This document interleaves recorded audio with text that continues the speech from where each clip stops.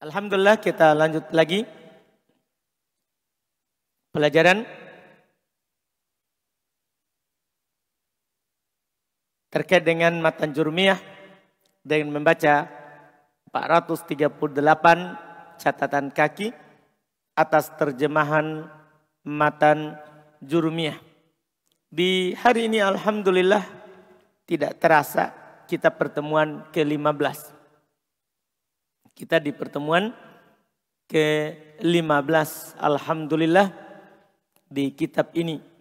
Kita masuk setelah menyelesaikan kemarin alat penasab. Sekarang kita masuk di alat penjazam.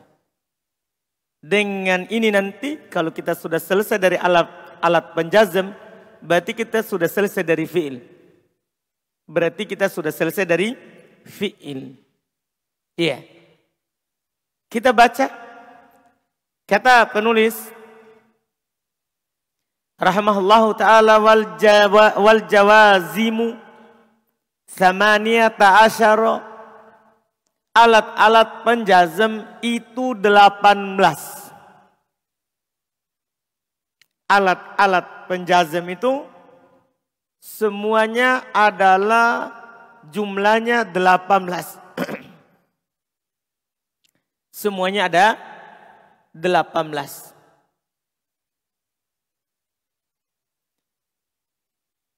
Belum berkata wahya lam walamma wa alam wa alamma walamul amri wa du'a wala nahi wa du'a wa in wa ma wa man wa mahma wa idma wa ayyun wa mata wa ayyana wa aina wa anna wa haituma wa kaipama wa idan fi syi'ri khassah Kata Baludi adalah lam. Ini yang pertama. Alat penjazam yang pertama lam. Ini yang kita contohkan di sebelumnya. Walamma yang kedua lamma. Yang ketiga alam. Yang keempat adalah alamma. Yang kelima lamul amri wad du'a. Yang keenam la pinnahi wad du'a. Yang ketujuh in. Yang kedelapan ma. Yang kesembilan man. Yang kesepuluh mahma. Yang kesebelas idma. Yang kedua belas ayun. Yang ketiga belas mata.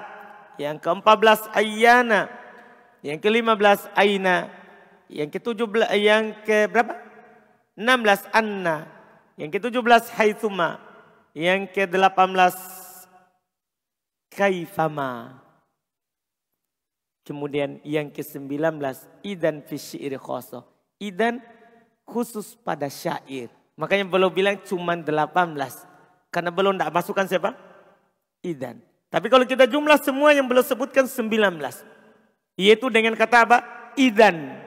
Tapi belum bilang fi khoso. Khusus pada syair.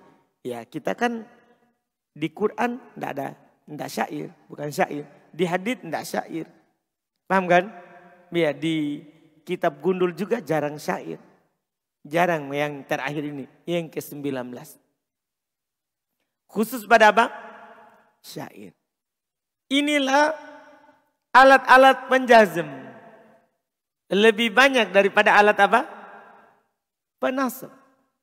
Lebih banyak daripada alat penasab. Tapi kalau dilihat dari pembahasan, lebih mudah. Lebih mudah. Tidak ada repot lagi disembunyikan an. Karena semua ini menjazam dengan dirinya. Tidak ada yang dijazam pakai apa? Perantara. Perantara. Kita tulis semuanya. Iya. Yang pertama apa? Hmm? Lam. Yang kedua? Hah? Lama. Yang ketiga? Hmm? Alam. Yang keempat? Hmm? Alamma. Yang kelima, hmm? lamu al-amr wa ad-du'a. Yang keenam, hmm? la ha? fi an-nahi hmm? wa du'a. Iya. Kemudian berikutnya yang ketujuh Hmm? In. Yang ke delapan. Hmm? Apa? Ma. Ke sembilan. Man. Man. Ke sepuluh. Hmm? Mahma. Sebelas. Hmm? Idma. Dua belas. Hmm? Ayun. Tiga belas. Hmm? Apa? Ma? Mata. Mata. Keempat belas. Hmm? Ayana. Lima belas.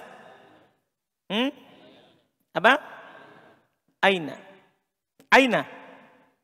Hmm. Enam belas. Hmm? Anna. Tujuh belas. Tujuh belas. Apa? Hai. Hai. Delapan belas. Hmm? Kaifama. Kaifama. Sembilan belas.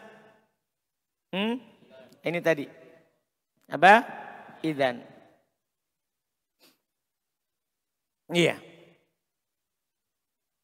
Ini semuanya sembilan belas. Dia seluruhnya alat penjazem. Seluruhnya disebut alat apa? Penjazem. Iya, ini semuanya. Disebut dengan alat penjazem. Atau kata lain, penyakit jazem. Atau kata lainnya apa? Penyakit jazem. Secara garis besar, penyakit jazem ini terbagi dua. Ini bagian pertama. Makanya dipisah sebelas itu. Paham ya? Ini bagian kedua. Sama yang ini. Yang ini masuk ke sini. Iya. Itu terbagi menjadi dua. Dari sisi apa terbaginya? Dari sisi tugasnya. Dari sisi tugasnya. Itu dulu dijelaskan. Kalau yang ini lam lamma alam alamma lamul amri wa du'a la nahi wa du'a. Ya. Yang mana lamul amr maksudnya apa? Li. La nahi wa du'a maksudnya la. Maksudnya apa? La. Ini nih Semuanya ada enam. Satu, dua, tiga, empat, lima, enam. Enam ini, enam ini. Kalau dia ada, maka dia menjazem fi'il mudhari. Enam ini, yaitu lam, lamma, alam, alamma, lamul amr wa du'a, la nahi wa du'a. Lamul amr wa du'a maksudnya li. La nahi wa du'a maksudnya la. Beda ini li, ini la. Amin? Iya. Sebentar kita akan jelaskan satu-satu. Enam ini kalau dia ada maka korbannya satu fi'il mudhari. Paham kan? Disebut dengan penjazam satu fi'il. Ini enam ini. Lam, lamma, alam, alamma, lamul amr, wadu'a, la nahi, wadu'a. Kalau dia ada menjazam satu fi'il. Artinya korbannya berapa? Hanya satu saja. Paham ini? Semua alat ini. Dia korbannya hanya satu. Satu fi'il. Tidak ada dua. Cuman satu.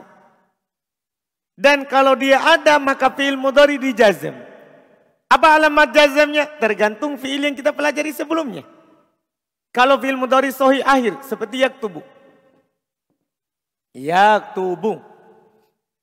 Masulam. Apa antum baca? Yaktubu. Masulam. Lamma. Hah? Sama tugasnya, sama tugasnya. Masukkan lamma. Masukkan alamma. Alam. Alamma. Lamul amr wa du'a. Li, li. Hah? Li. Nah ini maknanya maknanya beda dengan li sebelumnya. Kalau li sebelumnya maknanya agar supaya. Kalau ini maknanya perintah. Hendaklah. Hendaklah. Ada di buku. Paham ya? Dia penggunaannya bisa untuk amar. Dikatakan amar. Bisa juga dikatakan doa. Dikatakan amar kalau dari atas ke bawah. Dari yang paling tinggi kedudukannya ke yang rendah namanya perintah. Paham ini? Tapi kalau dari bawah ke atas namanya doa. Tidak boleh kita katakan perintah. Beradab, beradab. Ini tugasnya sama. Kenapanya li, li ini kalau bermakna amar ataupun doa tetap menjazem. Misalnya, yak tubuh. Masukkan li. Yak tubuh. Masukkan li. Hah? Langsung tubuh sukun. Kan begitu. Cuman penamaannya ini lamul amr. Dinamakan lamul amr kalau dari atas ke bawah. Misal anak bilang ke antum, dari guru ke murid. Berarti kan dari atas ke bawah, dari yang tinggi guru ke murid yang rendah. Paham kan? Anak bilang, lihat tuh, hendaklah dia menulis. Ini namanya perintah. Tapi kalau dari bawah ke atas, dari hamba ke Allah. Paham? Antum tidak boleh namakan amr, perintah. Tapi antum namakan apa? Doa. Paham? Tapi tugasnya sama. Kalau ada li, maka fil amr dijazm. Kalau ada li, maka fil amr diapakan? Fil amr di jazm. Dipahami ini? Paham? Ah, sama juga dengan ini. La fin nahi wa doa. La. Ini maksudnya la yang ini. Ini la yang bermakna nahi. Larangan. Larangan. Ya. Kalau bilang larangan, berarti nanti terjemahannya adalah jangan. Terjemahannya apa? Jangan. Bukan la yang bermakna tidak. Karena la ini bisa bermakna juga tidak. Tapi yang menjazam ini la yang bermakna jangan. Dipahami ini? Larangan. Kalau yang melarang dari atas ke bawah, namanya nahi. Kalau dari bawah ke atas, namanya apa? Doa. Ini dalam rangka disebut doa ini dalam rangka beradab saja. Amin nih. Seperti seorang hamba bilang, La tu'akhidna. Janganlah engkau siksa kami. Kan sama terjemahannya. Tapi namanya apa? Doa. Kalau hamba yang mengatakannya, namanya doa. Tapi kalau Allah yang mengatakannya, La tusrik. Jangan kamu syirik. Apa artinya ini? Doa atau larangan? Doa atau larangan? Larangan. Ini namanya ini dari sisi adab saja. Larangan ini dari sisi apa? Dari sisi apa? Adab saja. Yang mana tugasnya sama. Dia menja menjazem satu fi'in. Ketika anda bilang yak tubuh. Masukkanlah. La, la, la, la. Ini, ini. Yak tubuh. Masukkanlah. Hah?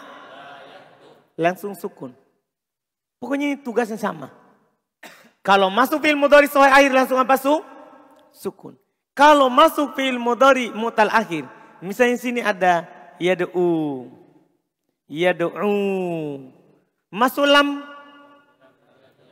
Ingat, apa tanda jazamnya fi'il mudhari mutal akhir? Apa tanda jazamnya? Hah? Apa sapri? Hapus apanya? Hmm? Wawunya. Huruf apa itu waw? Awal akhir.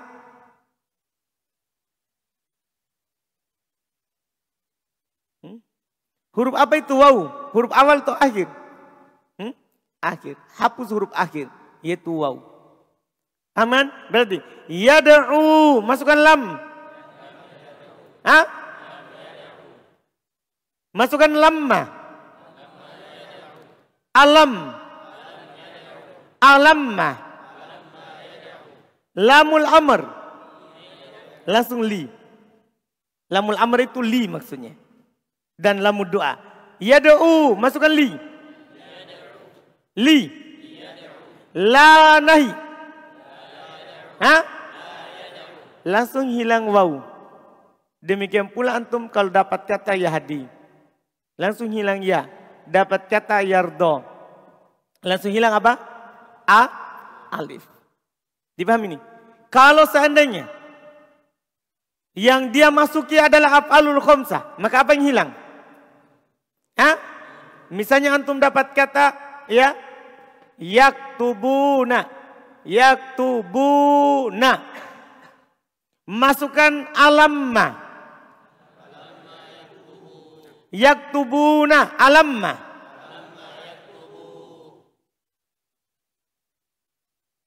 Hilang apanya? Nunnya. Mudah mudah mudah sekali. Pokoknya kalau antum dapat alat ini enam enam enam ini maka fi'il mudhari dijazam dipahami ini sama juga dengan yang ini. Kalau antum paham yang itu, yang ini juga paham. Ini kan golongan berikutnya. Yang mulai dari kata ini, mulai dari ini yang ketujuh. Sampai ini, yang ke sembilan belas. Dari yang ketujuh sampai ke sembilan belas. Sama itu tugasnya. Paham ini? Sama tugasnya. Tapi apa bedanya? Itu saja yang perlu antum pahami. Kalau antum paham itu enam, satu, dua, tiga, empat, lima, enam. Kalau antum paham itu. Maka ini otomatis paham. Tapi apa bedanya? Bedanya kalau yang ini dalam kalimat cuman satu fi'il. Disebut dengan ya fi'lun wahidun. Fi'lun wahidun. Dia cuman butuh satu fi'il. Dah, kalau dia ada itu enam, dia butuh berapa? Satu fi'il. Sementara yang ini, 7 sampai 19. Kalau dia ada, maka dia butuh fi'lain. Dia butuh apa? Fi'laini. Dia butuh fi'lain. Apa artinya fi'lain? Dia butuh dua fi'il. Memang dalam kalimat begitu. Selalu ada berapa? Dua fi'il. Yang dia jazam, dua fi'il. Kalau yang sana yang dia jazam berapa? Satu. Yang ini? Yang ini? Dua. Paham ini? Misalnya antum dapat kata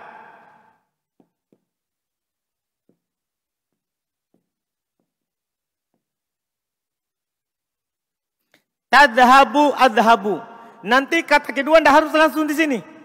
Boleh beberapa kata setelahnya. Yang penting dua fiil korbannya. Yang penting berapa apa? Berapa fiil? Dua. Masukkan in. Apa antum bilang ini? Tadhabu adhabu. Masukkan in. Hah? Langsung dua korbannya. Intadhab adhab. Itu bedanya. Kalau yang ini enam. Menjazem satu.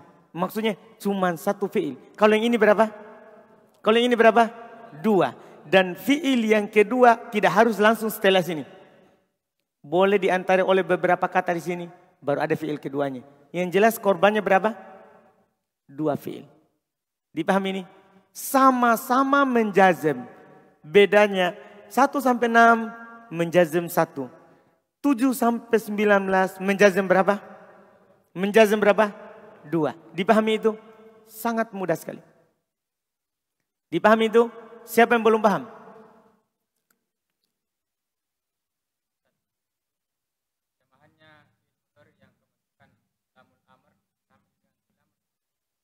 Hmm? Tidak sama tuh. Fil amr kan duduklah. Kalau ini hendaklah dia duduk. Beda tuh. Hmm.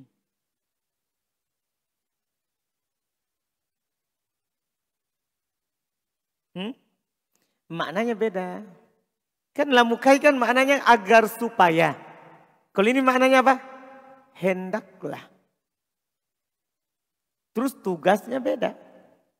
Lamukai, apa tugasnya firman? Lamukai, tugasnya apa? Mero? Firman. Fajrin menasab. Kalau lamul amar firman menjazim. Paham saudara? Nah, beda kan? Beda tugasnya. Satu menjazam, satu menasab. Maknanya juga beda. Kalau lamu kai kemarin agar supaya. Kalau lamul amr maknanya apa? Hendaklah. Jadi antum nanti tinggal pilih yang mana. Kalau agar supaya dia pergi. Lihat haba. Harokat itu menentukan agar supaya maknanya. Kalau hendaklah dia pergi. Lihat hab. Sukun. Ketika antum sukun berarti antum perintahkan dia. Hendaklah dia pergi. Dipahami ini? Paham ya? Hmm, ada lagi? Karena ini pendek sekali. Saya sudah katakan di awal. Allah penjazam memang banyak. Tapi untuk memahaminya sangat pendek. Cukup antum tahu kalau ada alat ini fiilnya dijazam. Tanda jazamnya sudah kita ambil sebelumnya. Terus dia terbagi dua. Ada yang korbannya satu. Paham ini? Menjazam satu fiil. Dan ada yang korbannya dua. Menjazam dua fiil. Yang antum hafal jangan ini yang banyak. Yang dua. Hafal saja itu yang sedikit. Yang menjazam satu. Paham maksudnya? Yang menjazam satu adalah lam lamma alam alamma. Lamul amar lamu nahi. Itu bisa antum bilang lam lamma alam alamma lila. Enam.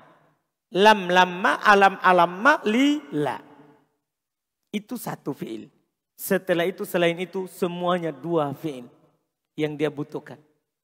Yang dia butuhkan. Ada pertanyaan sebelum saya baca buku?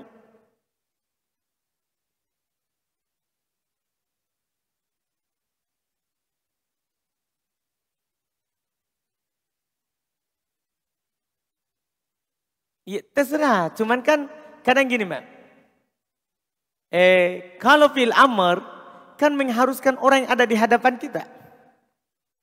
Nah, kan kita bilang begini. Idhab. Pergilah. Berarti kan orang yang ada di hadapan kita. Kalau lamul amr bisa kita perintahkan orang yang ada di hadapan kita. Misalnya saya katakan kepada firman. Saya katakan pada firman. Lihat Zaid ila suk. Saya bilang ke dia, hendaklah Zaid pergi ke pasar. Nanti Firman kasih tahu. Ustadz suruh kamu pergi ke pasar.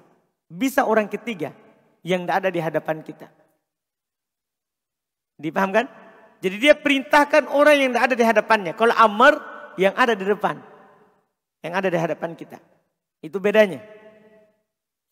Fil lamul amr juga bisa orang yang di hadapan. Lebih umum dia. Penggunaannya dalam bercakap. Ada lagi?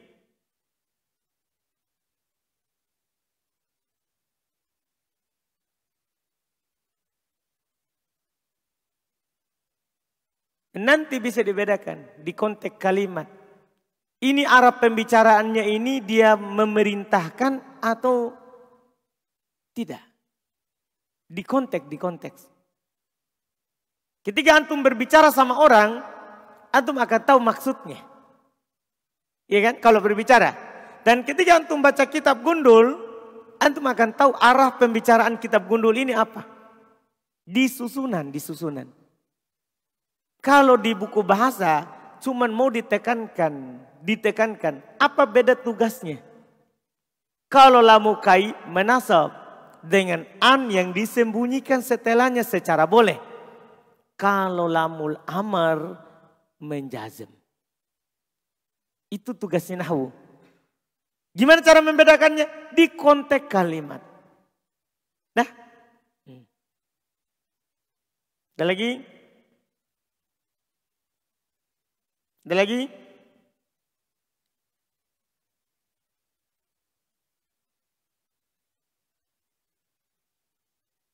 Tidak ada yang kedua. Hmm?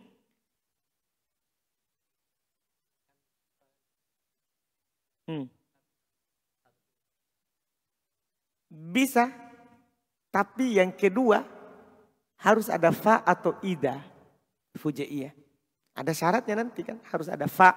Ini sebagai jawaban. Kenapa harus dua fiil? Karena ini oh iya, inilah yang disebut alat-alat syarat. Ah, kebetulan sudah lewat, anak janjikan dulu. Kan ada isim-isim mabni dulu tuh. Isim-isim mabni itu kan isim isim, eh, isim apa? domir, terus isim isyarat, terus isim mausul, isim istifham. Yang kelima, ini isim syarat namanya ini. Ini disebut isim syarat, hukumnya mabni. Ah, itu tadi yang Anda lupa. Anda udah janjikan dulu, nanti Anda akan ingatkan isim syarat. Ini adalah disebut isim syarat. Ketika ada isim syarat, berarti butuh syarat dan jawaban. Kenapa butuh dua? Karena itu. Kenapa butuh dua fiil? Karena ini syarat. Isim-isim apa? Syarat. Berarti membutuhkan syarat seperti intadhab. Jika kamu pergi, itu namanya syarat. Adhab, saya akan pergi. Jawabannya. Paham ini? Paham ini? Intaktub. Aktub. Menjazam dua fiil. Menjazam dua fiil. Yang menjazam satu fiil berapa? Enam. Itu enam pertama. Yang menjazam dua. Sisanya. Sembilan belas kurang enam. Berapa sembilan belas kurang enam Fadl? Hmm? Tiga belas. Betul itu? Betul. Alhamdulillah. Baik kita baca. Udah baca. Hmm.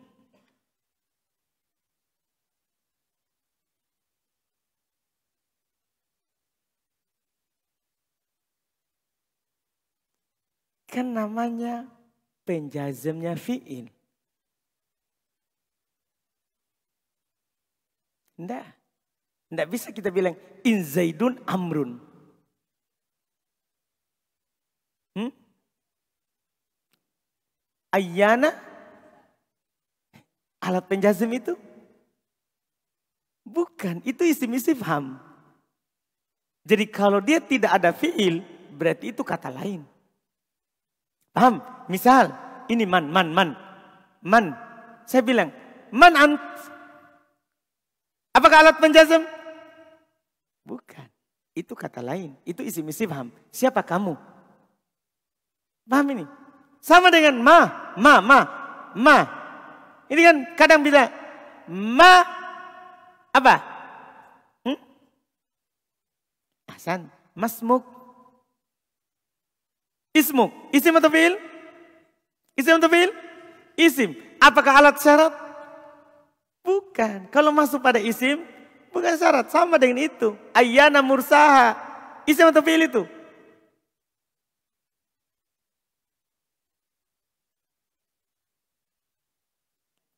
Tidak, jangan begitu.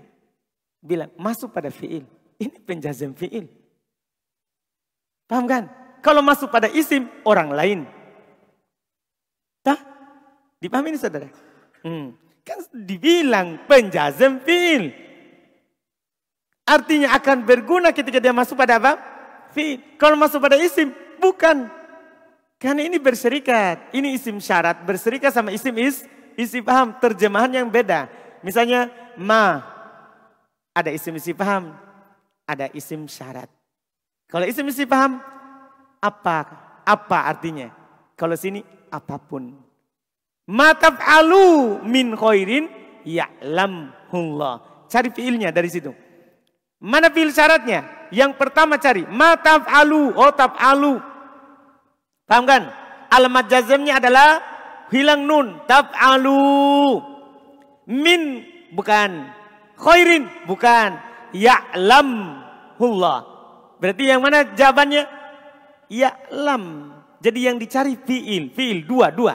Dua apa? Fi'il. Kalau sudah dapat yang pertama, cari yang kedua sampai dapat. Terserah 100 kilo kemudian, tidak apa-apa.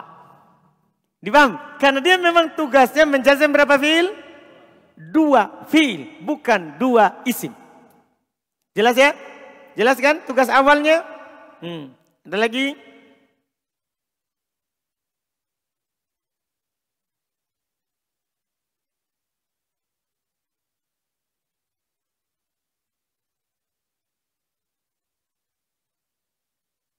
Berarti kita tidak perhatikan saya ngomong dari awal.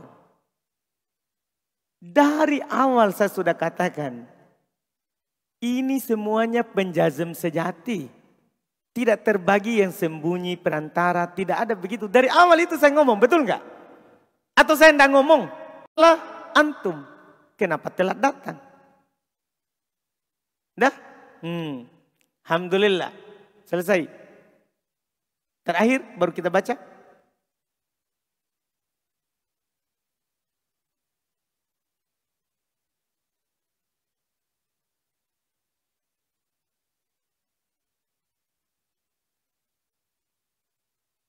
Huruf jar. Bukan. Li di sini apakah huruf jer? Bukan. Karena sudah beda artinya. Kalau li ke mana kan masih sama maknanya huruf jer. Li ini memang maknanya bukan huruf jer. Bukan memang huruf jer. Dia huruf jazm. Nah, dia huruf apa? Jazm. Bukan huruf jer. Titik. Tidak ada koma. Paham ini?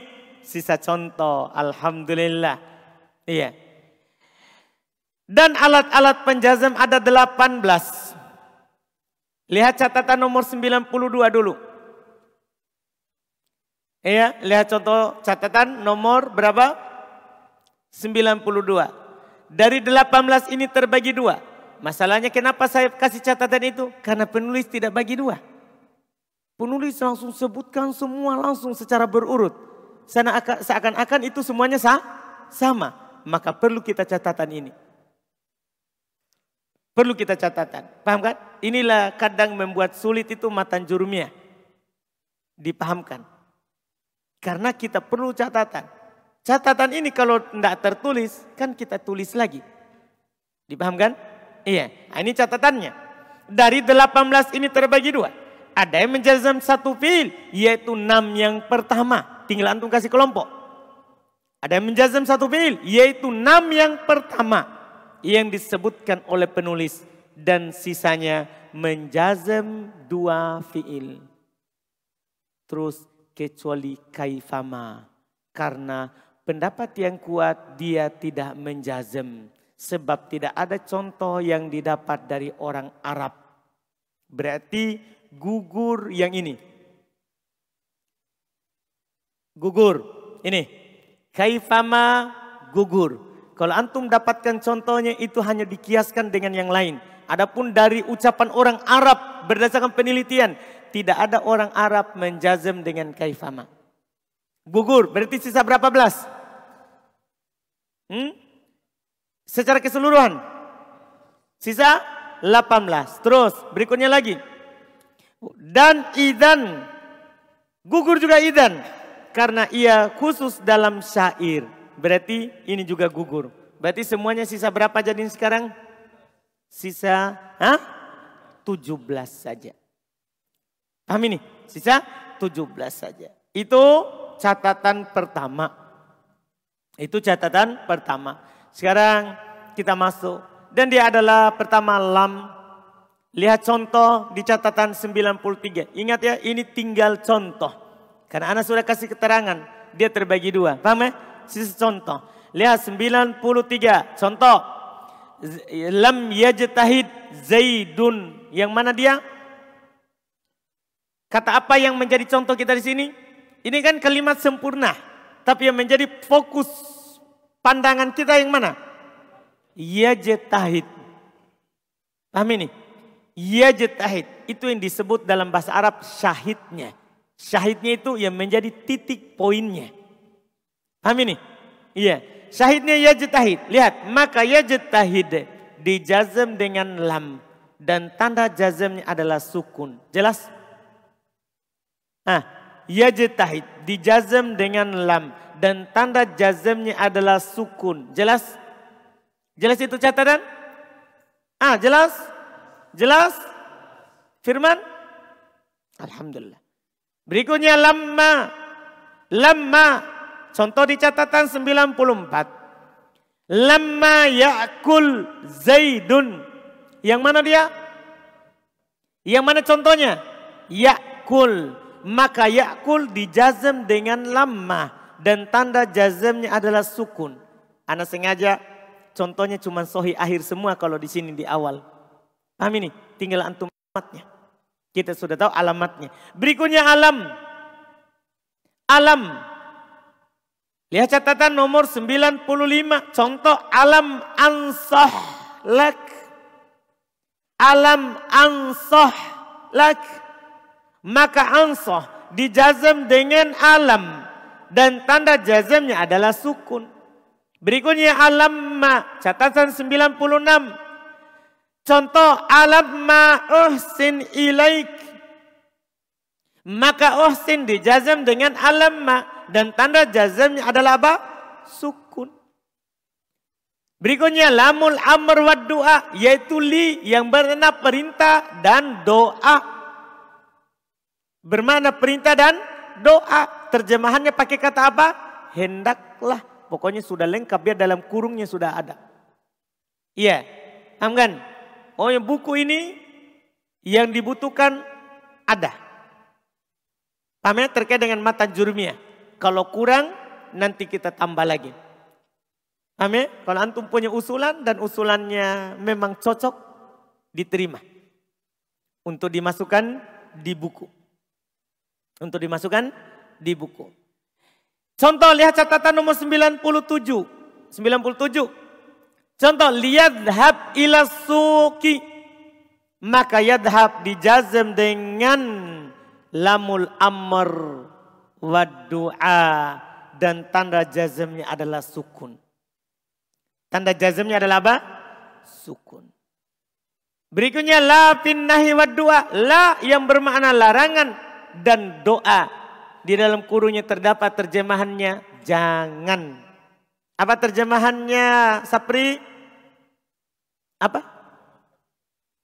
Jangan pergi ke pasar. Hmm, enggak konsentrasi. Masa jangan pergi ke pasar terjemahannya. Jadi setiap antum dapat itu jangan pergi ke pasar. Dah, Misalnya nanti anak kalimatnya. La tadhab ilal bait. Terjemahannya jangan pergi ke pasar. Apa terjemahannya Sapri? La. La yang saya tak katakan saudara. Bukan la tadhab ilal su. Apa terjemahannya la? Hah? Hah? Jalan. Jangan. Tidak pakai G. Pakai N saja. Karena kalau pakai G ayam. Nah, pakai N saja. Kalau jangan ayam. Paham? Di bahasanya Sapri. Jangan. Apa? Hah? Nggak pakai G. Karena yang terucap masih pakai G. Hmm, makanya belum bilang jangan nggak pakai G. Hmm. Mantap saudara Sapri. Alhamdulillah. Hmm. Alhamdulillah. Mantap. Ya, Sapri, Sapri. Contoh 98, 98 dan ini yang terakhir yang menjazam satu fi'il. Contoh la tadhhab ila. Ini kalimat sempurna itu yang diterjemahkan oleh Sapri tadi. La tadhhab ila suq yang mana yang kita intinya adalah la tadhhab itu saja. Karena ila suq bisa diganti ilal bait ilal masjid, ilal gurfah, ilal hammam, ilal matbakh. Bisa diganti itu. Yang menjadi poin kita, la tadhab, la ta'kul, la taqtul, la tashrab. Pokoknya kalau ada la, maknanya jangan pakai n, maka menjazim. Menjazim. Jelas ya? Jelas ya? Contoh itu sudah. Maka keterangannya keterangannya. Yang dikatakan di situ maka tadhab dijazam dengan la nahi wa doa dan tanda jazamnya adalah apa? Sukun. Selesai yang menjazam satu fi'il. Berikutnya in. In. Tadi kan anak sudah katakan, tidak perlu lagi anak bilang di sini, ini mulai menjazam dua fi'il. Sudah dikatakan di awal, enam pertama satu. Sisanya dua. Paham? Tinggal contoh. Contoh, lihat catatan 99. Intas jar Dua. Ini contoh pendek ya. Bisa kita bilang nanti intasbir alal maso ibi tujar. Kan nanti bisa ditambah di tengahnya itu kalimat sempurnanya. Kalau kamu mampu bersabar di atas musibah yang menimpamu, tujar. Kamu akan diberikan ganjaran. Cuma kan tidak bisa terlalu panjang kalau dalam contoh nahwu. Paham ya? Yang penting antum paham tugasnya. Tugasnya ini menjazam dua fi'il. In tasbir tu'jar. Lihat. Maka tasbir fi'il syarat. Paham namanya? Maka tasbir ini fi'il pertama. Tasbir namanya fi'il apa? Fi'il syarat. Dijazam dengan in dan tanda jazmnya adalah sukun dan tujar jawaban syarat. Itu di garis bawah itu fi'il syarat, jawaban syarat. Kan itu yang selalu. Dijazm dengan in dan tanda jazmnya adalah sukun. Sama. Ma. Ma. Contoh catatan 100. Ma takro tastafid min. Maka takro fi'il syarat. Dijazm dengan ma. Dan tanda jazmnya adalah sukun. Dan tastafid jawaban syarat dijazm dengan ma. Tanda jazmnya adalah sukun. Mudah. Man. Man berikutnya man. 101 man yajtahid yanjah. Siapa pun yang bersungguh-sungguh dia akan lulus. Paham ini? Maka yajtahid fiil syarat dijazm dengan man. Tinggal ganti-ganti alat jazmnya. Diganti dijazm dengan man. Dan tanda jazmnya adalah sukun yanjah jaban syarat. Dijazm dengan man dan tanda jazmnya adalah apa? Sukun. Berikutnya lagi mahma. Mahma. Contoh mahma takro akro. Maka takro fiil syarat dijazm dengan mahma tanda jazmnya adalah sukun akro jaban syarat dijazm dengan mahma tanda jazmnya adalah sukun idma contoh idma tajlis ajlis maka tajlis fi'il syarat dijazam dengan idma. Tanda jazamnya adalah sukun. Dan ajlis jawaban syarat dijazam dengan idma. Tanda jazamnya adalah apa? Sukun. Mudah sekali, mudah sekali. Untuk dua. Ini dua korban. Kemudian berikutnya ayun. Ayun. Contoh. Ayu bin takro akro. Cari fi'il. Jangan bilang kitabin. Karena kitabin adalah apa? Kitabin adalah apa? isim yang dia jazam berapa apa fiil? Berapa fiil? Dua fiil. Jadi cari fiilnya. Dipahami ini? Dipahami ini? Cari fiilnya. Ayu kita bin takro akro. Fiil pertamanya mana? Hmm? Takro. Fiil keduanya? Akro. Ini menunjukkan bahwa alat penjazam ini tidak harus langsung masuk ke fiil. Paham maksudnya? Tidak harus langsung masuk ke fi'il. Kadang dia masuk dulu ke isim baru ada fi, fi'il. Yang jelas ini alat penjazam dua fi'il. Korbannya dua fi'il. Apakah langsung atau ada perantara? Ada perantara. Lihat. Maka takro. Kita tidak jelaskan lagi kitabin. Karena fi'il kita. Maka takro. Fi'il syarat dijazam dengan ayun. Dan tanda jazamnya adalah sukun. Dan akro jawaban syarat dijazm dengan ayun. Anda jazmnya adalah sukun. Berikutnya mata. Mata tusafir usafir. Mata tusafir usafir. Maka tusafir fi'il syarat dijazm dengan mata. Dan tanda jazmnya adalah sukun. Dan usafir jawaban syarat dijazm dengan mata. Dan tanda jazmnya adalah sukun. Sama.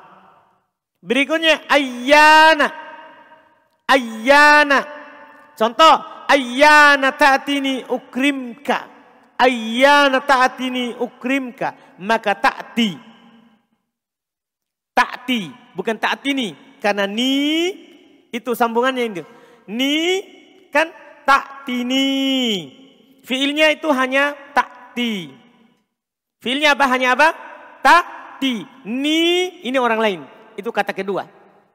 Paham ya? Itu orang lain. Yang menjadi tandanya di sini ta'ti. Ta'ti. Nah, ini contoh untuk mutal akhir. Kalau dia di kasro seperti ini, ta'ti. Apa yang hilang kira-kira? Hmm, ya, ya. Asalnya ini ta'ti panjang. Ta'ti panjang. Cuma masuk alat penjazim hilang apanya? Ya. Jadi kalau kalimat panjangnya ta'ti ni. Paham ini? Tapi karena masuk alat penjazim akhirnya hilang apa? Ya-nya setelah tak. Jadi ta'ti. Lihat keterangannya. Maka taati. Fi'il syarat dijazam dengan ayana.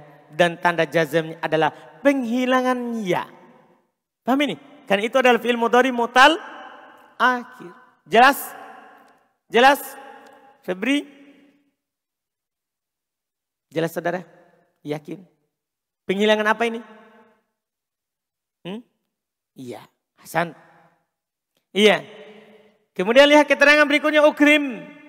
Jawaban syarat dijazam dengan ayana. Tanda jazamnya adalah sukun. Berikutnya lagi. Aina. Aina. Nah contoh. Contoh. Aina taskun askun. Mudah. Aina taskun askun. Maka taskun fi'il syarat. Dijazam dengan aina. Dan tanda jazamnya adalah sukun. Dan askun jawaban syarat. Dijazam dengan aina. Dan tanda jazamnya adalah sukun. Berikutnya anna.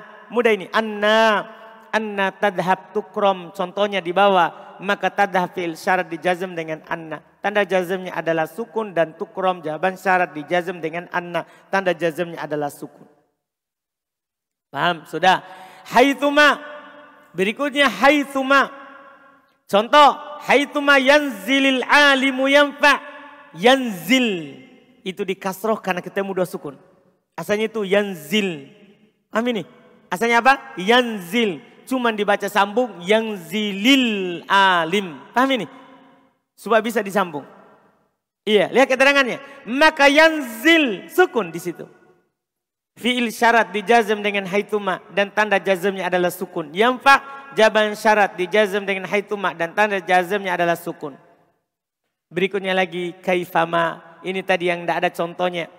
Cuma contoh ini hanya sekedar karena penulis sudah sebutkan. Kita kiaskan dengan yang lain. Kaifama tajlis ajlis. Maka tajlis fi syarat dijazm dengan kaifama. Dan tanda jazmnya adalah sukun. Ajlis jawaban syarat dijazm dengan kaifama. Dan tanda jazmnya adalah apa? Sukun. Berikutnya terakhir. Idan fi syi'r khasah. Idan khusus pada khusus masuk ke dalam syair. Khusus masuk dalam syair. Ada catatan di bawah. Penulis menyebutkan ada 18 ada 18 alat penjazam. Namun pada rinciannya penulis menyebutkan 19. Hal ini mungkin karena idan khusus menjazam pada syair. Jadi penulis hanya menghitung 18 alat penjazam. Itu sebabnya. Terus Ananda contohkan ya. Ananda contohkan karena khusus di mana? Di syair. Dipahami ini? Selesai. Alhamdulillah. Dengan ini kita tutup pembahasan fi'il. Setelah itu pembahasan isim. Langsung mulai insya Allah besok bab marfuatil asma. Bab isim-isim yang di rofa. Ada pertanyaan?